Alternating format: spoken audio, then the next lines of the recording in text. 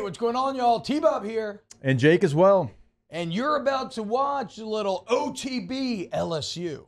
We're going to give you all the latest, greatest between LSU football, baseball, women's basketball, softball, and everything in between. Bottom line, if you want to talk Tigers, keep it locked, subscribe, like it, and uh, we hope you enjoy.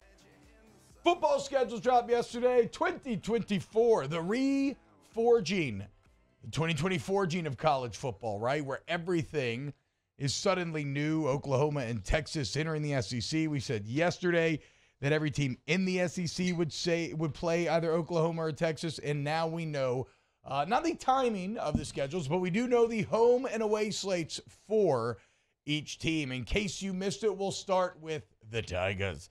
Uh, your home games are going to consist of Alabama, Ole Miss, Oklahoma, and Vanderbilt. Okay, nice little friendly draw there at the end. You know, Oklahoma at home also, um, where you'd want to play them in your first time squaring up. You're going to go to Arkansas, to the swamp, Jake. Okay, there you go. Hey. Florida not going anywhere just yet. Thank you. Uh, to South Carolina, which good that that's a great trip. That Yes. stadium's awesome, and probably even more rocking then. And uh, then you're going to go to College Station, uh, and of course, like we said, this is also with USC in Vegas to start the season, and uh, UCLA making a return trip to Baton Rouge. So a couple of West Coast Big Ten teams thrown on top in the 2024 gene. When it comes to LSU schedule, uh, Jake, what jumps out to you? LSU schedule probably Oklahoma and not Texas. I just Yep. felt like Texas was going to be almost a staple with LSU in their schedule, and certainly the first year when you could kind of control the way that it played out. I just I'm a little surprised that it's Oklahoma and not Texas. We've seen LSU play Texas in 2019, and everything surrounding that game. You don't get the return trip to Baton Rouge, right, because of the pandemic.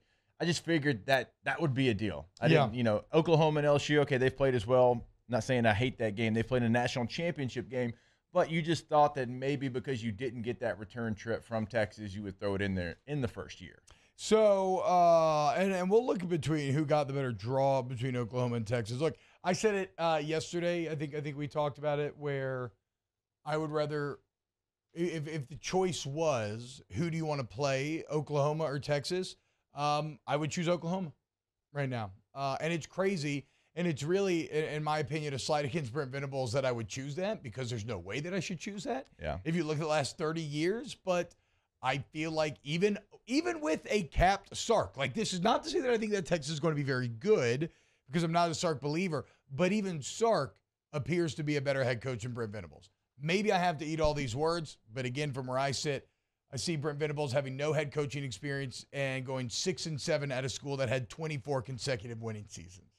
Uh, and that, uh, I mean, that's about as massive a red flag as you could Like possibly find. winning ass winning seasons. So too. that's it. Yeah, in the last dozen years, Yeah. only two of the dozen did they not win 10 games. Right. So yeah, so not you're right, not just 7 and 6, 8 and 5 Yeah. records, 11 and 2, 11 and 2, uh 12 like like yes, like or 11 and 3, 12 and 3, like whatever, just the so one of the best programs in the entire country. So I'm and and I mean again, you can't discount that Venables came from this um this Dabo Swinney ecosystem, which is weird and odd and maybe not representative of like a lot of the rest of college. But look, he recruited very well. Maybe I eat my words, but I feel like I'd rather play Oklahoma here if we're just talking about win. Yeah, it might change from now till then. I, college football can change certainly in a calendar year now, Yeah. unlike it used to. But still, yeah, I'm going to agree with you. Oklahoma right now, where they look, where they're going compared to Texas, neither one of them are skyrocketing, but certainly Texas in a better position with Arch Manning and, and Quinn Ewers potentially could still be there than you feel about Oklahoma. Another thing that stood out to me, T, no Auburn. Yeah, I mean that jumps off the page. That is definitely the biggest. Oh, okay, we really are Yeah. in a new era of uh of SEC football. No Mississippi State for the first time in like 100 years. Yeah, you you've played them more than any school ever. I mean, I still think when you go three permanent opponents, I still think Alabama, A and M, Mississippi State is probably the play.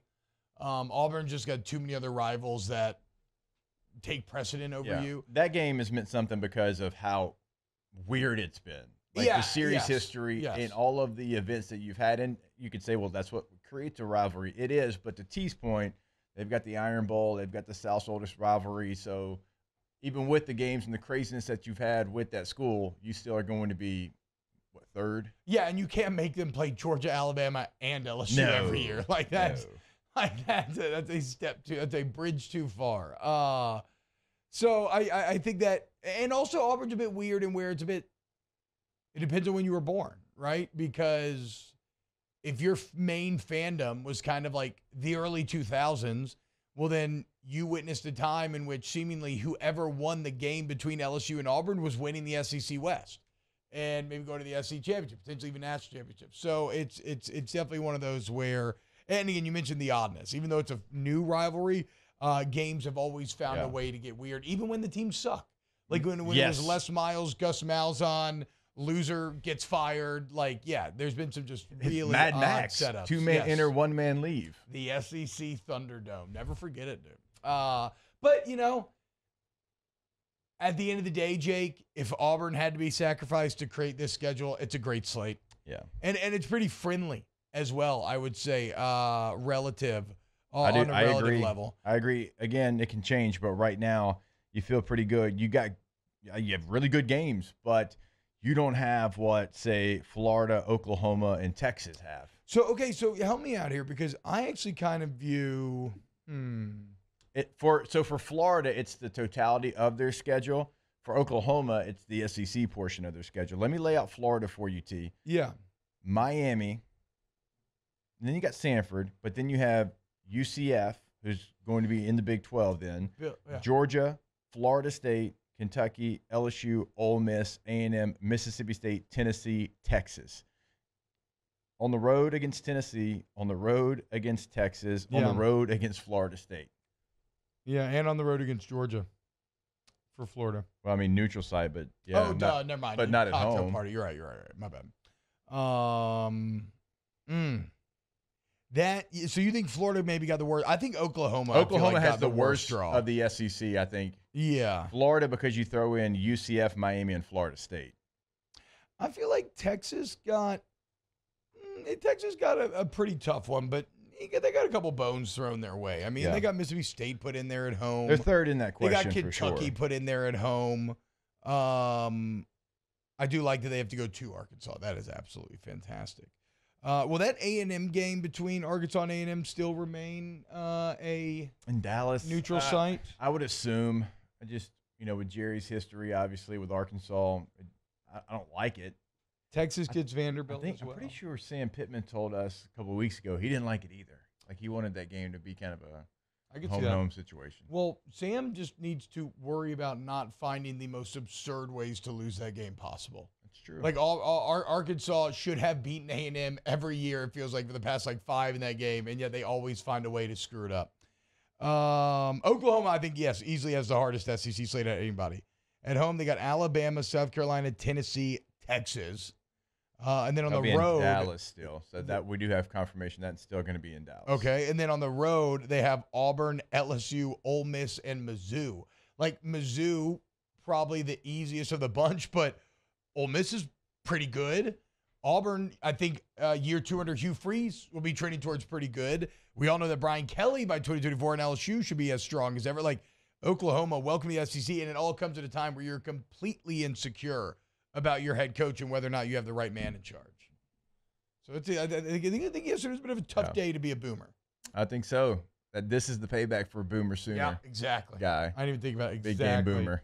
Who got the easiest draw of the bunch? Do you think? Well, it wasn't Th- th- Georgia. Not saying there's anything easy here. Georgia actually, for all the things that we've talked about with their schedule this year, uh, they are going to have some tough games. They will play Alabama. That's going to be that's one of the headliners from the SEC schedule release. Yeah. That Georgia and Alabama are going to play each other in the Do they open season. with Clemson as well?